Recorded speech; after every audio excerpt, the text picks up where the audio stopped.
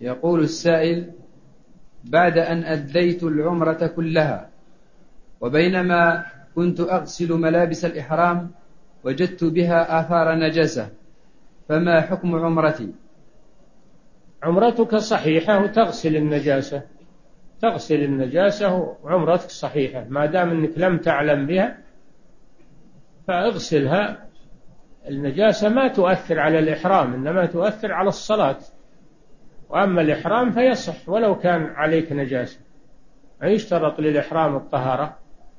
إنما الصلاة إذا كنت لم تعلم بالنجاسة في ثيابك وصليت فصلاتك صحيحة لأنك معذور بالنسيان والجهل.